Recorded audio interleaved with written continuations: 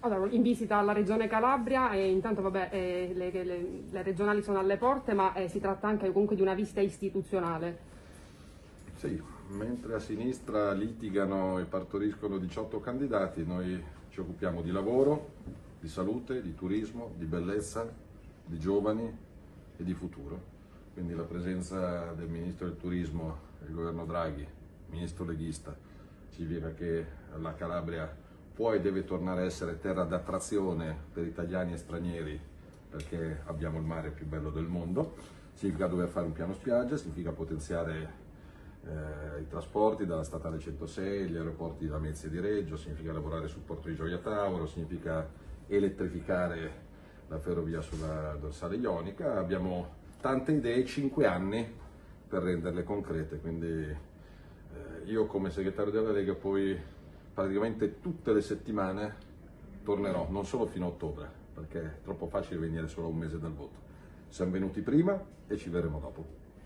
Il Presidente Draghi ha proposto la finale degli europei a, qui a Roma, ma l'UEFA ha già risposto no, visto che abbiamo anche il Ministro del Turismo, che idea è secondo voi? A me non dispiacerebbe, a me interessa che arrivi l'Italia in finale, poi dove giocano è secondario, avere una finale a Roma sarebbe bello, auspicando che non ci sia il segretario del PD che impone ai giocatori e spettatori di inginocchiarsi mentre passeggiano per strada perché penso che la politica abbia cose più importanti di cui occuparsi.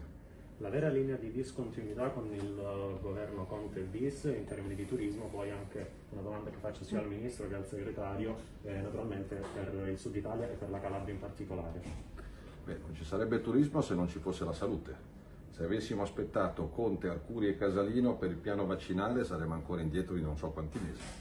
Quindi fortunatamente una Calabria in salute è una Calabria pronta a ospitare turisti che portano ricchezza, non turisti che sbarcano con barchini e barconi. Quindi anche da questo punto di vista mi sembra che fortunatamente sia cambiato il mondo. Sì, è così, con, con, le vaccinazioni ormai più della metà della popolazione italiana ha ricevuto la prima, nota, la prima dose, tantissimi hanno già ricevuto il messaggino per per le, le pratiche del, del, cosiddetto lasciapassare e quindi la stagione riparte e riparte alla grande. Poi ricordiamo sempre che il turismo è il settore che occupa più giovani e più donne, quindi per il sud è veramente la manna. Cosa deve fare la Calabria per investire davvero sul turismo? Deve credere di più in se stessa. In Calabria c'è tutto, c'è il mare, c'è la montagna, ci sono i boschi, ci sono tanti boschi in Calabria quanto in Lombardia per dare l'idea e, e oggi eravamo stamattina con il presidente del, del Parco del, del Polino e raccontava di questa, eh, di questa ciclovia, la più, abbiamo, la più lunga che abbiamo in Italia, quindi le potenzialità sono enormi.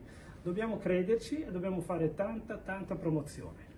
Intanto per le discoteche, Ministro, qual è la situazione? Può essere una buccia di banana? No, guardi, l'amico Federico Pedina Amati, ministro di San Marino, ha fatto un esperimento proprio in questo fine settimana, 2000 persone, è andato via liscio come l'olio. Quindi è la dimostrazione che si può aprire in sicurezza, basta rispettare i protocolli. Perché il turismo... Il 28 invece una vittoria della Lega, diceva oggi Salvini, lei al governo. Allora, una vittoria del buon senso, che è la stessa cosa. Perché il turismo in Calabria è stato sempre indicato come un volano, ma in realtà non riesce a decollare come in altre regioni. Avete una ricetta voi della Lega? Ma la ricetta è di lavorare con i territori, con le regioni, con gli operatori. Proprio stamattina mi ha fatto un convegno tecnico su questo argomento, tanta organizzazione e tanta buona volontà. La novità è che c'è un Ministero del Turismo, cosa che prima non c'era, quindi è più facile organizzarsi Mancava organizzazione a livello nazionale, però pagano soprattutto i territori più deboli la mancanza di organizzazione. È un peccato perché la Calabria ha enormi potenzialità, però guardiamo il bicchiere mezzo pieno, può fare un grande salto. Poi portiamo in dote, e mi taccio, quello che la Lega con Spirlì ha già fatto. Cioè noi a proposito di turismo di Calabria oggi non siamo a dire faremo, No, perché un milione e mezzo 136 milioni per eh, decine e decine di città per riqualificare borghi e centri storici significa essere più attrattivi, significa valorizzare le bellezze della Calabria. Quindi ieri sono stato ad esempio, un piccolo esempio, nel comune di Condofuri dove il sindaco mi ha ringraziato, io me l'ero pure dimenticato perché da ministro dell'interno abbiamo stanziato 4 milioni e mezzo di euro per riqualificare il centro storico di quello che nel mondo è riconosciuta come la capitale del Bergamotto. E quindi di- la differenza fra la Lega e tanti altri è che eh, noi veniamo a raccontare quello che abbiamo già fatto, non solo quello che faremo. Presidente, oggi è stato prese- eh, presentato il candidato Occhiuto, ma sino a ottobre ci sarà lei come Presidente facente funzioni. Quali progetti, quali cose vorrà realizzare prima di lasciare il ruolo di Presidente e prendere forse quello di Vice? Ma io continuerò a portare avanti i progetti che abbiamo già messo in- sul tavolo, che abbiamo già messo in campo, per cui continueremo questa nostra battaglia per eh, far sì che il, il- il debito della sanità calabrese venga stralciato e quindi si, si crei finalmente un doppio binario, cioè uno eh, gestito dal governo a eh, copertura di quel debito che dovrà essere comunque eh, rivisto fino, fino a cercare dei numeri veri che fino ad oggi non ci sono stati, ma dall'altra parte invece la necessità e l'urgenza di dare ai calabresi una sanità vera, una sanità che smette- farà smettere agli scafisti della sanità di portare i pazienti, gli ammalati calabresi in, in altre regioni, se non addirittura in altri stati eh, d'Europa e del mondo. Noi abbiamo veramente l'urgenza di far, mh,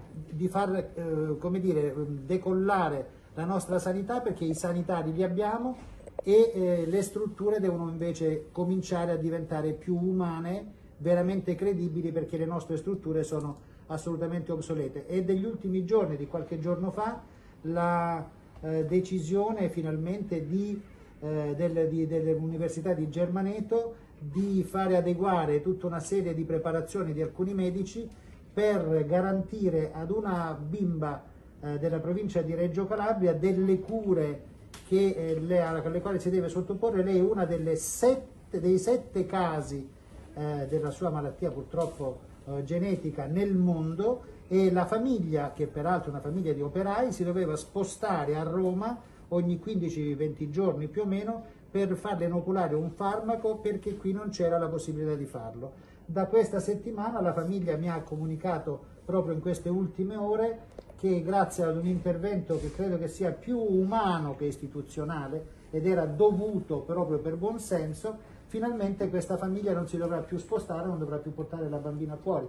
Continueremo con eh, il nostro piano eh, di intervento sul porto di Gioia Tauro e sul retroporto con la politica che stiamo attivando proprio per la difesa del Corap che invece eh, altre manine avevano tentato di trasportare finalmente ad una liquidazione che non era assolutamente giustificata.